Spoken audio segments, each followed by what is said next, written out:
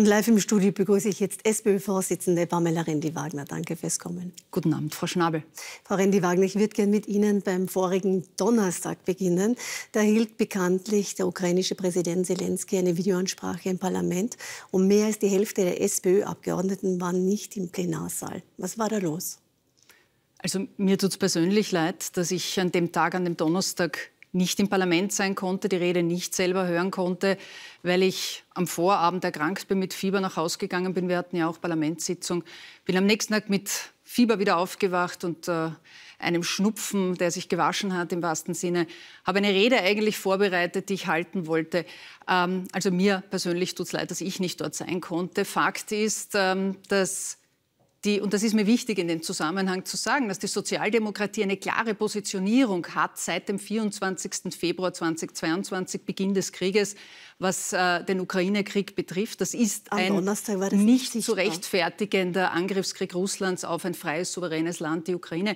Und wir haben uns immer für Solidarität mit der Ukraine der ukrainischen Bevölkerung eingesetzt, für humanitäre Hilfe und haben auch alle Anträge im Parlament der Regierungsparteien von Anfang an unterstützt und ihm auch die Sanktionen auf europäischer Ebene mitgetragen. Was passiert ist, das Bild, das Sie mhm. angesprochen haben, mit dem Fehlen äh, von Abgeordneten, ist eines, wo ich sage, ja, das ist kein gutes. Also wenn ich jetzt sagen würde, das ist ein schönes Bild, dann äh, wäre das einfach nicht nachzuvollziehen, auch aus meiner Sicht nicht. Finde ich nicht dafür, gut. Frau Rendi-Wagner, sind ja Sie als Clubobfrau, als außenpolitische Sprecherin, ich, ich als Parteivorsitzende ja, ja gerade, verantwortlich. Ich sage gerade, die Abgeordneten sind aber frei zu wählen, frei zu sagen, ob sie kommen wollen oder nicht. Und die, die immer den Clubzwang so kritisieren, muss ich sagen, das war eine Veranstaltung und keine Parlamentssitzung. Es war eine Einladung des äh, Herrn Wolfgang Sobotka an Bundesrat, an Nationalrat, an Regierung. Und im Übrigen, wenn wir vom Bild sprechen, das war nicht gut, was die Sozialdemokratie dort abgegeben hat, durch die Absenzen verschiedener Begründungen, die ich zum Teil nachvollziehen, zum Teil nicht nachvollziehen kann. Da geht es mir so wie Ihnen. Aber dass nur zwei ÖVP-Regierungsmitglieder auf der Regierungsbank bei dieser wichtigen Rede gesessen sind, ist auch kein gutes Gut. Bild. Frau Rendi-Wagner, bleiben wir bei der SPÖ. Für die sind Sie ja bekanntlich aktuell verantwortlich. Jetzt äh, Osteuropa-Experte Paul Lendweil nannte das eine Schande für die Sozialdemokratie, den Bruch der Werte der Sozialdemokratie. Und Sie sind logischerweise für die Führung der SPÖ zuständig. Wenn Sie zum Jahrestag heuer fordern und sagen und betonen vor allem die größte Stärke, Zitat, innerhalb der EU ist die Geschlossenheit, so müssen Sie doch ja selber vor sich gerne und sagen, aber in der SPÖ nicht einmal im Club sind wir geschlossen, was in dieser außenpolitischen, wirklich so wichtigen Frage unumstößlich ist. Wo steht die SPÖ? Das habe ich Ihnen gerade gesagt. Wir haben eine unumstößliche Solidarität. Die ist unumstößlich mit der Ukraine, mit der ukrainischen Bevölkerung. Und das wird auch weiterhin so sein. Das ist für mich als außenpolitische Sprecherin ja ganz, ganz wichtig. Ich bin in einem ganz regelmäßigen Austausch mit dem ukrainischen Parlament seit über einem Jahr, mit dem ukrainischen Botschafter hier in Österreich. Und ich hänge das nicht an die große Glocke. Da hole ich keine Kameras und Interviewpartner, um das groß zu inszenieren, weil es mir wirklich um die inhaltliche Achse und Solidarität geht und um den Austausch. Das Bild vom Donnerstag, da gebe ich Ihnen recht, das werde ich nicht beschönigen, da werde ich niemanden verteidigen in der Form. Das ist kein gutes, aber auch zwei Regierungsmitglieder auf ÖVP-Seite finde ich ein bisschen mager. Aber wer ist denn dafür verantwortlich, wenn Sie sagen, Ihr eigener Club gibt ein so desaströses Bild in der Frage? Naja, wir haben schon erwachsene äh, Abgeordnete. Das ist eine Veranstaltung gewesen, das ist keine Parlamentssitzung gewesen. Da gibt es keine Anwesenheitspflicht, da gibt es auch nicht diesen berühmten Clubzwang, den Clubs ja haben, der oft kritisiert wird und diskutiert wird. Wenn Kann man, man lang braucht, drüber reden. Ja. Können wir, genau, wenn man ihn braucht. Ähm, den gibt es da auch nicht. Also jeder Abgeordnete kann das für sich entscheiden. Gut. Diese Führungsfrage, da haben Sie allen Ihren Kritikern jetzt eigentlich ja, wie soll ich sagen, also das ist Wasser auf deren Mühlen, denn die sagen, das ist ein Führungsversagen Ihrerseits, dieses Bild, das abgegeben wurde. Und ich würde gern Ihnen etwas vorlesen. Sie kritisieren ja bei jeder Gelegenheit die FPÖ. Die hat aber ganz klar gemacht, sie wird eine Protestaktion dort abliefern, hat sie auch getan. Und jetzt kommen, Falter-Chefredakteur Klenk hat sich die Arbeit gemacht, bei ihren Abgeordneten nachzufragen. Und da kommen mitunter Aussagen, warum dort gewisse Abgeordnete fehlten unter anderem, ich würde Ihnen das gerne vorlesen, äh, denn ein gemeint ist Zelensky, kriegsführender Staatschef, der Kriegspropaganda, Zitat, betreibt, die Gewerkschaften in seinem Land bekämpft und angeblich streuend Phosphatbomben auf Unschuldige abwirft, hat in einem Parlament eines sich zur Neutralität bekennenden Landes nichts zu suchen. Das sagt Ihre SPÖ-Bildungssprecherin. Inwiefern unterscheidet man sich hier von der FPÖ? Ich lehne diese Aussage entschieden ab. Ich finde diese Aussage grundfalsch. Ähm, soweit ich weiß, hat sie sich jetzt in den letzten zwei Stunden dafür bereits äh, korrigiert, selbst auf Twitter. Sie ist aber nicht die Einzige. Aber ich sage Ihnen, ich lehne das ab. Das ist nicht die Position der Sozialdemokratie. Der Frage ist nochmal anders. Diese Rede von Wladimir Zelensky, war die für Sie mit der Neutralität Österreichs im Parlament vereinbar? Also ich habe diese Rede so wahrgenommen, dass der Präsident dort stellvertretend für die ukrainische Bevölkerung gesprochen hat vor dem österreichischen Parlament, vor der österreichischen Bundesregierung, sich auch bedankt hat bei der österreichischen Bevölkerung für die humanitäre Hilfe, die ja in Österreich geleistet wird von Tausenden von Österreicherinnen und von Österreichern. Und ich habe diese Rede äh, absolut mit der österreichischen Neutralität vereinbar gehalten, werde das auch künftig halten und ich halte eine Solidarität mit der Ukraine, mit unserer Neutralität selbstverständlich vereinbar, weil unsere Neutralität natürlich nicht heißt, dass wir moralisch hier äh, einfach neutral sind, sondern militärisch neutral. Aber Frau Renne-Wagner, um das Thema abzuschließen, übernehmen Sie die Verantwortung, logischerweise als SPÖ-Vorsitzende, außenpolitische Sprecherin, dass solche Positionen in Ihrem Club geteilt werden? Also ich finde es nicht gut dass diese äh, Positionen oder dass es diese Meinungen gibt. Und im Übrigen hatten wir sehr viele Diskussionen im Club intern schon zur Ukraine, auch mit Expertinnen und Experten.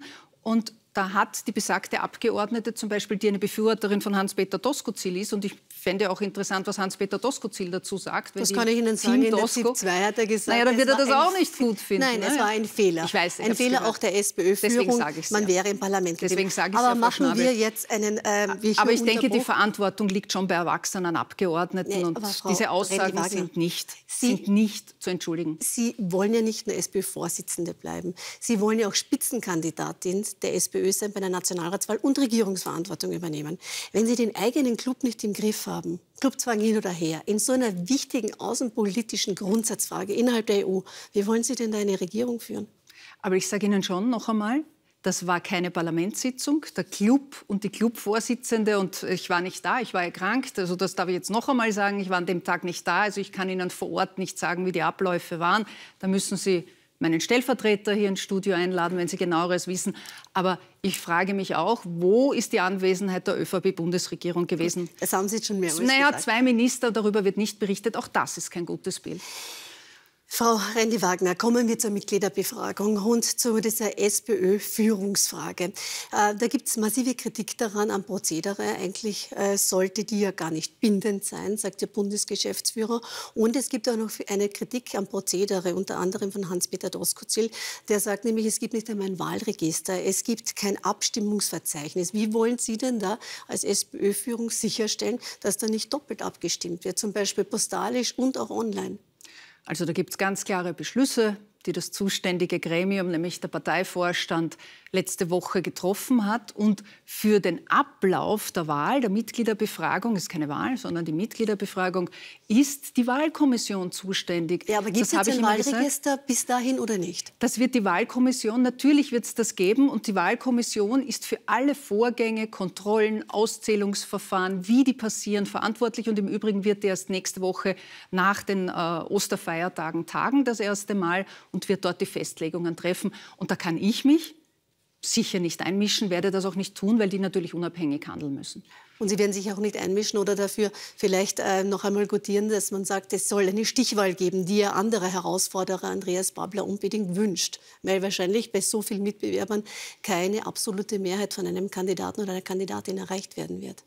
Also ich glaube, wir müssen alle zur Kenntnis nehmen, dass wir ein Regelwerk haben, dass wir Statuten haben. Es gibt Redaktionsstatuten, wonach Sie sich zu halten haben wahrscheinlich und andere Ihrer Kolleginnen und Kollegen. Und es gibt auch Parteistatuten. Das ist ein Regelwerk, das sind ähm, Grundlagen, auf deren Basis wir Entscheidungen treffen.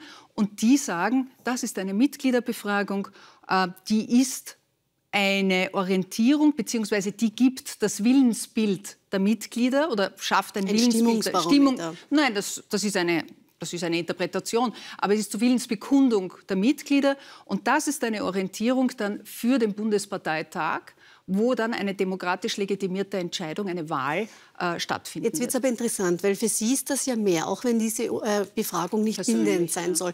Heißt das aber, Sie bleiben dabei. Und wenn Sie nur eine Stimme hinter dem Erstplatzierten liegen, dann treten Sie zurück und werden sich auf der Politik verabschieden.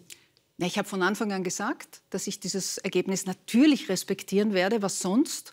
Ähm, dass ich äh, auch mich im Gegensatz zu meinen zwei bekannten Mitbewerbern nicht auf, im Fall eines nicht äh, Sieges, ähm, nicht ersten Platzes, nicht auf ein politisches Amt einfach gemütlich zurückziehen werde, sondern dass ich dafür bin, hier einen ehrlichen Schlussstrich zu ziehen. Noch vor dem das Parteitag? Das ist für mich Klarheit. Na, natürlich, vor dem Parteitag sollte ich nicht das meiste Vertrauen bekommen. Aber, Frau Schnabel, ich hoffe natürlich, dass ich äh, hier mehrheitlich das Vertrauen der Mitglieder bekomme, weil ich sehr, sehr gerne weiterarbeiten möchte, so wie die letzten vier Jahre mit dem Fleiß, dem Einsatz, dem Verantwortungsbewusstsein, das ich hier an den Tag gelegt habe für unser Land, aber vor allem mit unserer Partei.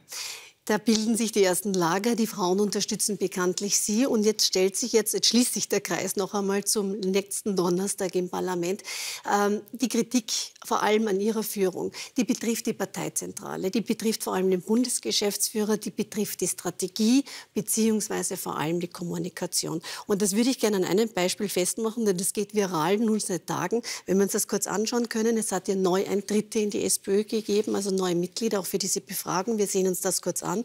Und da sind jetzt Sujets zu sehen wie Liebe ist rot. Äh, Frau Rendi-Wagner, vielleicht können Sie uns erklären, ähm, Sie waren schon einmal Finde ich jetzt nicht mir. schlecht, oder? Aber was heißt das? Entschuldigung, das ist Social Media. Also so wie der, das, wie man sich anzieht, kleidet, sind Social Media Sujets und Bilder Geschmacksfrage. Das ist eine Geschmacksfrage, eine persönliche. Das ist eine neue Art, moderne Botschaften zu transportieren. Ich nehme mir nicht heraus, Frau Schnabel, dass ich Social-Media-Expertin bin und weiß, wie solche Kanäle, die eine komplett neue Art der Kommunikation darstellen, äh, funktionieren. Dafür gibt es Expertinnen und Experten und wir haben ein junges, sehr engagiertes Social-Media-Team, das das macht und es gibt auch eine ganz klare Statistik dazu, ob man erfolgreich ist oder nicht. Und da liegen wir im Vergleich zu anderen Parteien, die haben Sie sich hoffentlich auch angeschaut, weit, weit vor der FPÖ, der ÖVP und anderen Parteien, auch den Grünen, was die Weiterverbreitung Gut. dieser, die Reichweite, sagt man, oder die genau. Likes sind die neuen ja. äh, Sprachen, die man hier anwendet, äh, was diese Social-Media-Aktivitäten betrifft. Also ja. wissen Sie, in einer Zeit wie dieser, dass wir über Bilder dieser Art Nein. sprechen, wo es um eine existenzielle Frage unserer Partei geht, wie wir hier aus dieser Phase äh, herauskommen, so schnell wie möglich, um wieder eine geeinte, gestärkte Sozialdemokratie zu gehen, reden wir über Social Media Sujets.